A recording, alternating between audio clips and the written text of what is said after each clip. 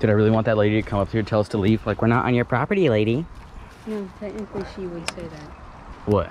She'd be like, yes you are. You're in my water.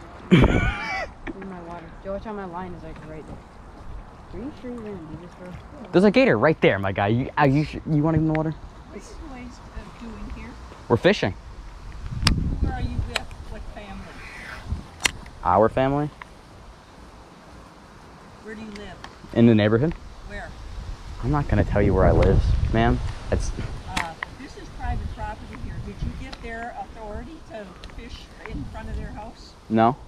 Then I believe you should leave. Do you live there? No, I live right here and I just saw you walking across my yard. Okay, we'll walk out. We'll walk that way around your, not your. I'd like you to walk this way. Yeah. Okay. You can't just fish in our yards without asking permission. Okay, my bad. And that goes for everybody around this lake.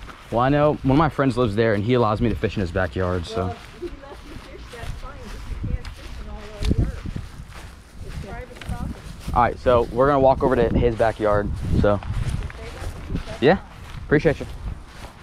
What are they gonna do? It's not. It doesn't matter, bro. What's she gonna do? I'm not causing any problems.